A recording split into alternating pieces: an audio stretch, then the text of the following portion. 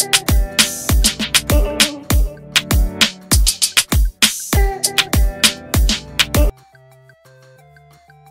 รษฐาลุยบางนาย้ำเลิกเกณฑ์ทหารชะงน ไพบูลคือใครเศรษฐานำทีมเพื่อไทยหาเสียงย่านบางนาย้ำเลิกเกณฑ์ทหารรักชาติมีได้หลายอย่างพร้อมยกระดับประชาชน ขอบคุณคำวิจารณ์ชงนไพบูลคือใครวันที่ 10 เมษายน 2566 นายเศรษฐาทวีสิงห์แคนดิเดต นายกรัฐมนตรี พักเพื่อไทย พอทอและประธานที่ปรึกษาหัวหน้าครอบครัวเพื่อไทย พร้อมด้วยนางพวงเพชรทุนละเอียดประธานคณะกรรมการประสานงานด้านการเมืองพื้นที่กรุงเทพมหานคร นายวราวุธยันเจริญ คณะกรรมการประสานงานด้านการเมืองพื้นที่กรุงเทพมหานคร ลงพื้นที่พบปะพี่น้องประชาชนและรับฟังปัญหาในพื้นที่นิรันด์คอนโด 93 ย่านบางนาเพื่อช่วยนายกวีวงศ์อยู่วิจิตผู้สมัคร ส กทม เขตพระขนงบางนาเบอร์3พักพอทอ หาเสียง โดยมีประชาชนในพื้นที่รอให้การต้อนรับและให้กำลังใจอย่างอบอุ่น นายเศรษฐากล่าวว่า ขอบคุณผู้ที่ออกมาวิจารณ์นโยบายกระเป๋าเงินดิจิทัล เพราะเป็นการประชาสัมพันธ์ให้เราในตัวสำหรับเรื่องเกณฑ์ทหารเชื่อว่าคนในพื้นที่มีลูกหลานต้องไปเกณฑ์ทหาร แต่เชื่อว่าหลายคนไม่ได้อยากไปเป็นทหาร ที่สำคัญสถาบันทหารเป็นสถาบันที่มีเกียรติ แต่การบังคับเป็นเรื่องไม่ถูกต้อง แล้วจะหาว่าคนที่ไม่เห็นด้วยกับการเกณฑ์ทหารไม่รักชาตินั้นไม่ถูก เพราะการแสดงออกถึงการรักชาติมีหลายรูปแบบ ไม่จำเป็นต้องเป็นทหารอย่างเดียว ขอย้ำว่าการยกเลิกการเกณฑ์ทหารเป็นอีกหนึ่งเรื่องที่เราให้ความสำคัญ เพราะการเป็นทหารต้องไม่เกิดจากการบังคับสำหรับเรื่องสิทธิการรักษาในพื้นที่บางนาที่มีโรงพยาบาลปิดหลายแห่ง จนประชาชนต้องเดินทางไปใช้สิทธิต่างพื้นที่นั้น หากพักพอทอได้เป็นรัฐบาลเราจะยกระดับนโยบาย 30 บาทบัตรประชาชนใบเดียวใช้ได้ทุกโรงพยาบาล ทั้งนี้มีประชาชนถามว่าหากไม่ได้เป็นนายกรัฐมนตรีจะรับตำแหน่งอื่นได้หรือไม่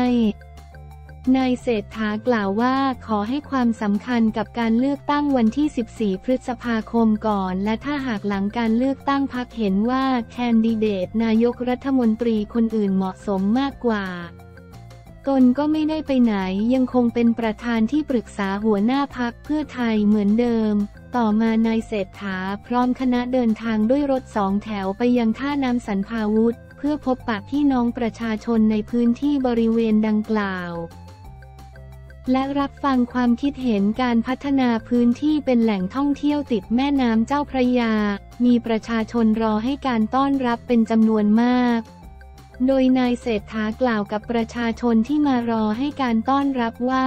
วันที่ 14 พฤษภาคมจะมีการเลือกตั้งเกิดขึ้น ขอให้เข้าคูหาเลือกพักพอทอที่เราชนะเลือกตั้งมาตลอด 20 ปี เพราะสามารถทำนโยบายให้เป็นจริงได้ตลอด ขณะนี้ฝ่ายตรงข้ามโจมตีกระเป๋าเงินดิจิทัล เพราะกลัวแพ้ ใครมาโจมตีอย่ายอม10,000บาทถึงกระเป๋าคนอายุ 16 ปีขึ้นไปทั้งหมดแน่นอน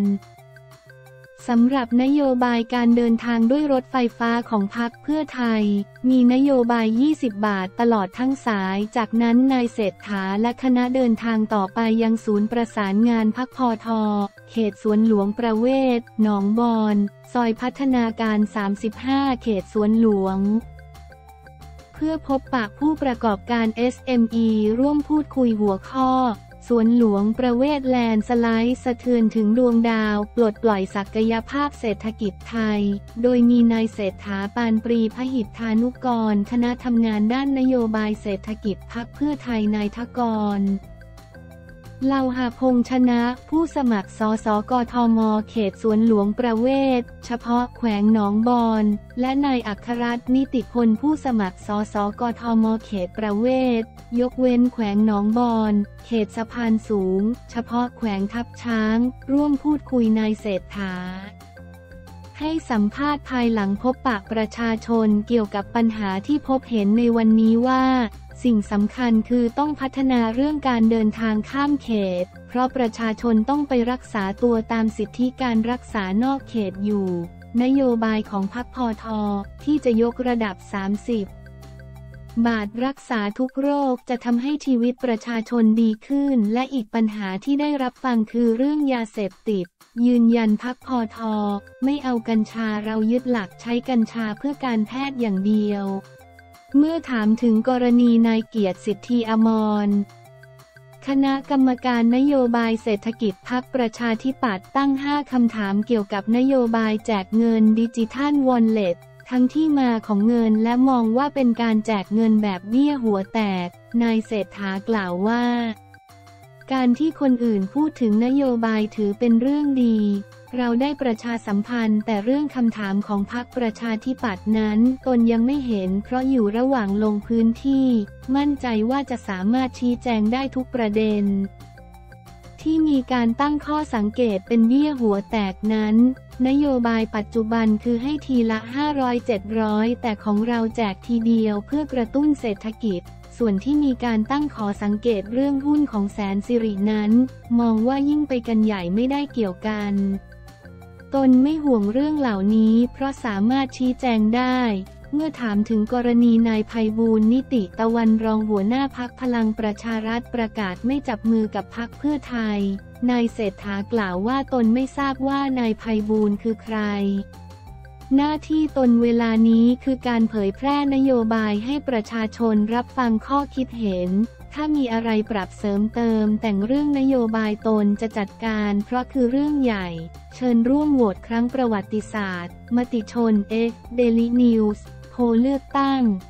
66 เลือกนายกรัฐมนตรีที่ใช่เลือกพรรคการเมืองที่ชอบ คลิกทำโพลได้ที่โหวตอนาคต โพลเลือกตั้งมติชนเดลินิวส์เลือกตั้ง 66 มติชนเลือกตั้ง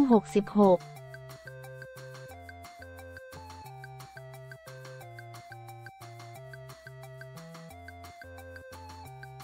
แพรรี่ ไพรวัลย์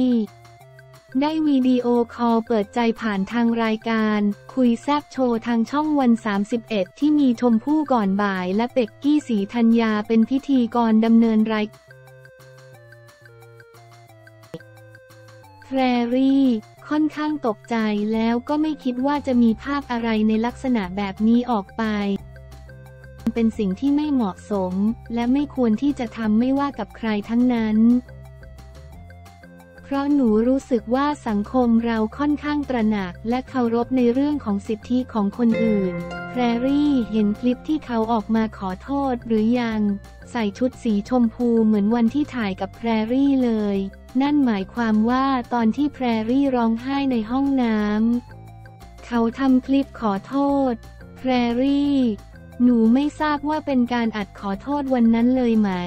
ถ้าอัดวันนั้นก็ควรโพสต์ หรือชี้แจงตั้งแต่วันนั้นเลย แต่กลายเป็นว่าพอหนูอัดคลิปแล้วก็ยังมีการมาไลฟ์โต้ตอบหนู หรือแม้แต่ตอนที่มีคลิปขอโทษออกมาแล้ว หลังจากนั้นเขาก็มีการขู่ว่าเขาจะไปแจ้งความ แจ้งจับอะไรหนูอีกหนูรู้สึกคืออะไรเขาอารมณ์สวิงเขาเคลียร์ตัวเองได้ หรือยังเขามีความจริงใจในการที่จะสำนึกผิดหรือขอโทษกับสิ่งที่เขากระทำกับหนูหรือเปล่า อันนี้หนูไม่มั่นใจคุณลีน่าเขาบอกว่าถ้าแพรรี่ยังบีบคั้นเขา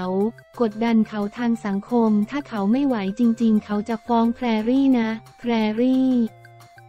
หนูก็ fair fair เลย ให้เขาฟ้องไปเลย ถ้าเขาจะฟ้องหนูก็ต้องฟ้องกลับในมุมของหนูเหมือนกัน หนูรู้สึกว่าในเคสแบบนี้หนูเป็นผู้ถูกกระทำวันนั้นหลังจากที่ไลฟ์สดจบมีเคลียร์กันไหมแพรรี่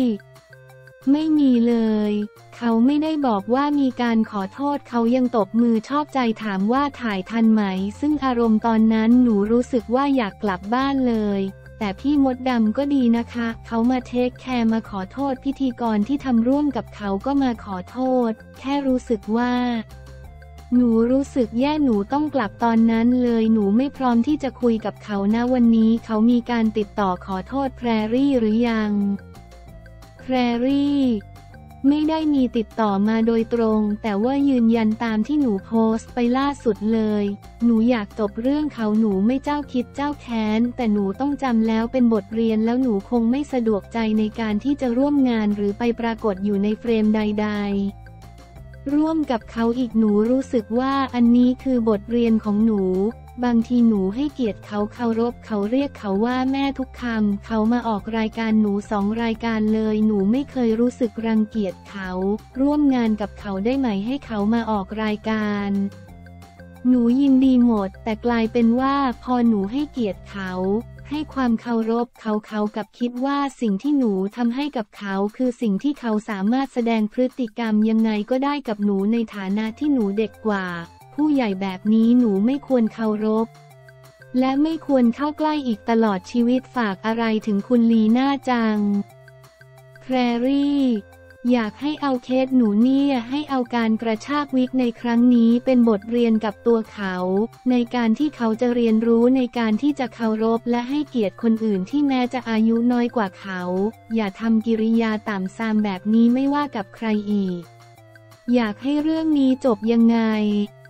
แพรรี่ ต่างคนต่างอยู่แล้ว อย่าได้จองเวรซึ่งกันแล้วกันเลย ถ้ามีงานใหญ่โตให้เจอกันยังไงก็ไม่อยากเจอใช่ไหม แพรรี่ ขอไม่ขอเจอหน้าผู้หญิงคนนี้อีก เจอกันอีกทีชาติหน้าดีกว่าค่ะ